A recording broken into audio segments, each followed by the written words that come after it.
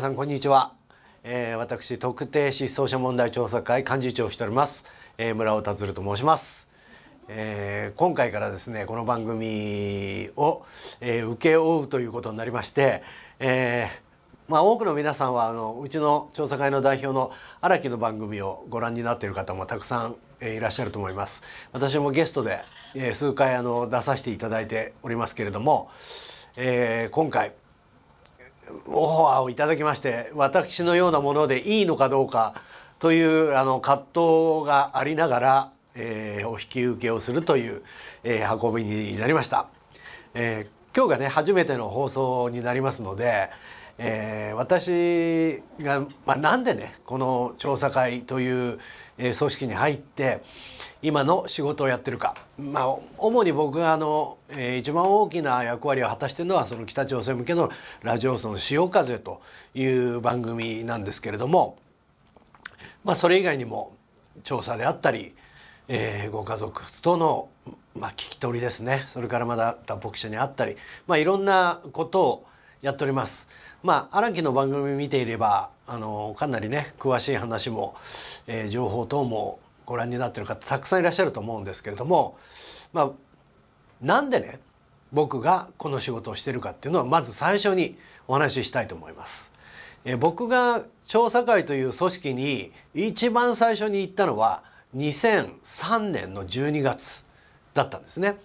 でその当時、えーまあ、僕はあのサラリーマンだったんですけどたまたまあの友人が議員をやってましてその彼から、えー皆さんもご存知のあの鹿児島で拉致をされた、えー増本留美子さん市川修一さんとね拉致をされたその弟さんが東京で参議院選挙に出るって話になったんです。でそれの手伝いをしてくれないかと。僕はもともと広告代理店にいたもんですから、えーいろんなねまあもうつい最近も選挙ありましたけどあのポスターとか、えーね、リーフレットとかはがきとか多分家に送られてきた方もたくさんいるかもしれませんねああいうものを作ってほしいという話だったんですね。でまあもちろんあのいいよという形で最初に言ったのが2003年の12月と。で選挙は翌年だったんですけれども、えー選挙に入る前から、えーいろんなことを、まあ、選挙活動ってやってますよね。あのいろんなとこを回ってね挨拶したりとか、まあ、そういうのにも関わるようにちょっとずつなり、えー実際に選挙が始まるんですけれどもまあとにかくねその選挙の感想まあ本当に最近選挙があったばっかりでね皆さんももう多分リアルに感じてもらうと思うんですけど増本さんが街宣車の上に立ってですね、まあ、街頭で訴えるわけですよ。でなんで増本さん選挙に出たかっつったら2003年2004年だね2004年の時点でもまあ拉致問題全く進まないという状況が見え始めてる。まあ、2002年にね皆さんご存知通り5人の方が帰ってくると。で2004年その後ご家族の、えー帰ってきた人のご家族が、まあ、続いてくるわけですけども、まあ、その時に増本留美子さん帰ってこなかったわけですよ。で、まあ、当時ね増本さんあの小泉さんに小泉総理大臣ね元総理に対して、まあ、いろんなことを言ったりしてですねまあいろいろありましたちょっとバッシングみたいなこともありましたで僕はあの一般人としてそれを見ていてああこの人は本気なんだなというふうに思っていたんですけどもまあその増本さんが街頭で訴えるとですねみんなもうボロボロ涙流して聞いてるわけですよ。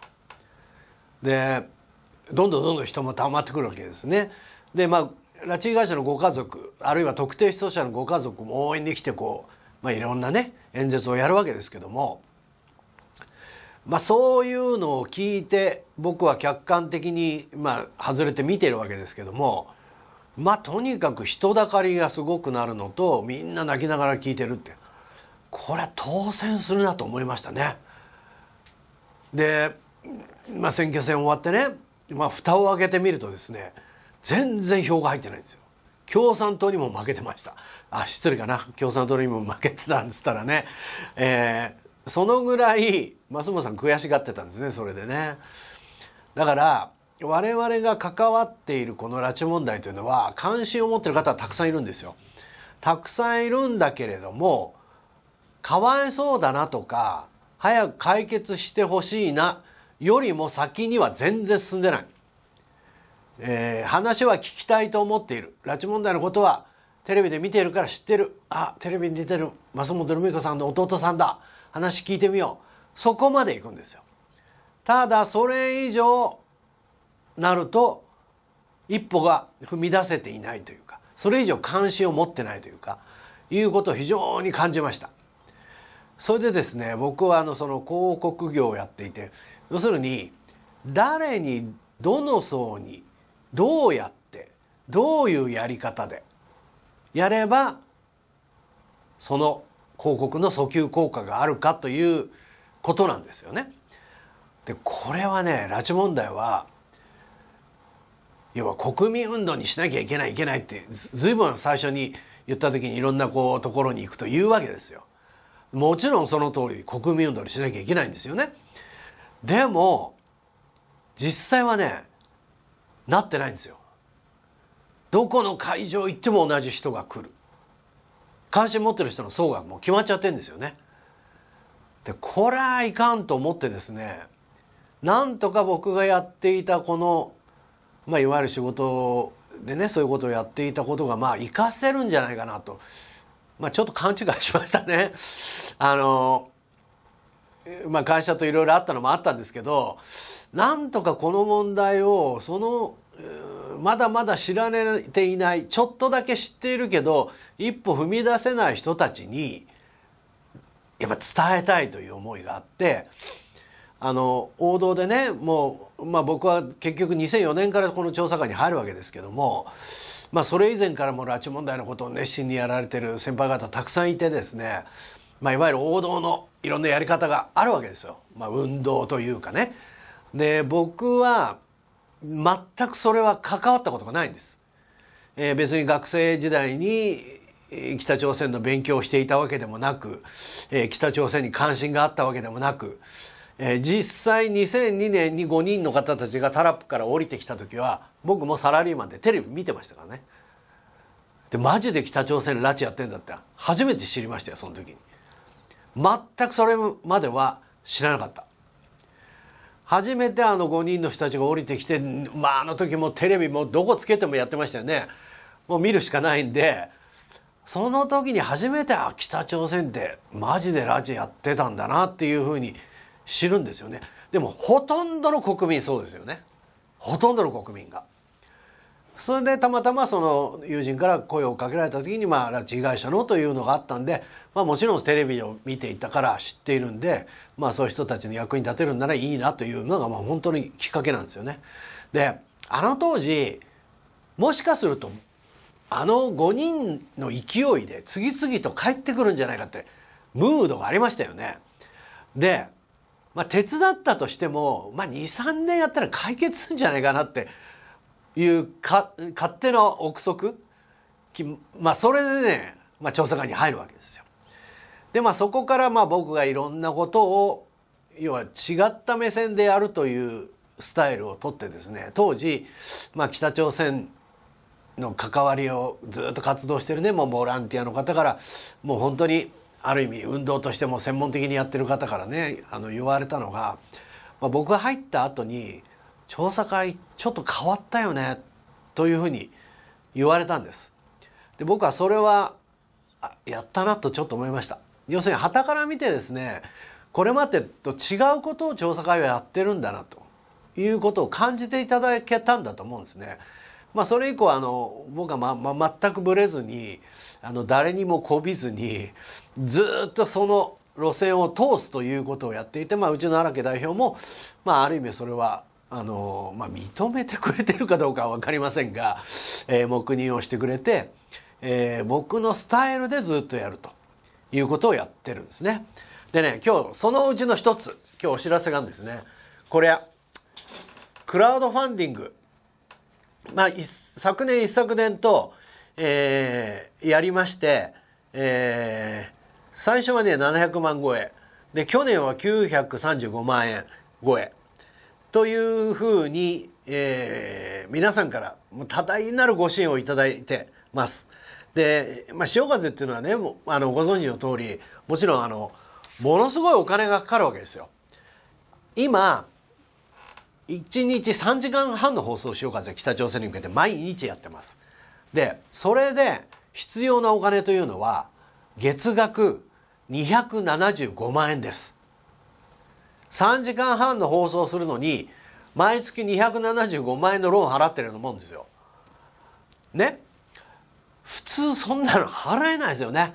もちろん我々そんなお金がある団体じゃないので皆さんからの寄付がもう最大の資金源です。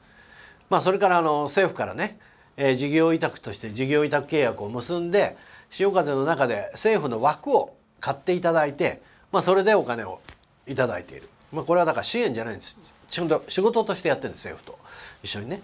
えー、ということをやっていると。でその他に、まあ、こういったね潮風グッズとかこういうものを売ってこれの、えー、売り上げの一部ですね、まあ、大体あの、えー、500円のものだったら300円、えー、1000円のものだったら600円ぐらいが寄付になるんですけどまあ、このクラウドファンディングやってみてねすごく思ったんですけど6割ぐらいは初めてこの潮風を知りましたっていう人なんですね。それはねやっぱクラファン特有のいやそのインターネットからいろんな告知がされるわけですね。じ皆さんたちが普段見ているポータルの画面の端っこの方にこうこういうのがポッと出てくるわけですよ。それを見てきました。あるいは我々 YouTube であの CM を流しててね皆さんも YouTube 見るときあの最初広告が出てね端っこの方に広告スキップとか出るでしょもうカチカチ早く早く早く早く終わんないかなって思ってるでしょあれをやってんですよ40万回ぐらい再生されるんですよそこから来ました。っていう人が多いんですね。で最初にお話しした通り特定の人たちだけがやっている問題じゃないと僕は思うので違う世界の人全くこの拉致問題ということに触れてこなかった人たちにいかにこの潮風というもの拉致問題というものを知ってもらうかというのが非常に僕は重要だと思ってこれもねもちろんお金は必要なんです。お金は集めたいんです。でも知ってもらうためのツールとしてすごく重要。これあのビラねあのいろんなところで今後配布しようと思ってるんですけど裏側にもやり方が書いてます、えー、どういうことやります。始まりは5月8日スタートです。5月8日から、えー、潮風、えー、応援プロジェクトと入れてもらえばこうパッポッと出てくると思います。2023年バージョンです。というのをやってですねえー、まあねこれあの皆さん今電気代高騰でしょ？えー、多分ご家庭でも多分大変なことになってんだと思うんですよね。もう特にまあ冬の時なんか結構暖房費がかかっちゃったってニュースでもやってたし実際僕も聞いたことあるんですけど潮風も例外じゃなくてですね3月までは電気代入れて250万円だったんですけど4月になったら一気に25万円電気代が値上がりするんですよ。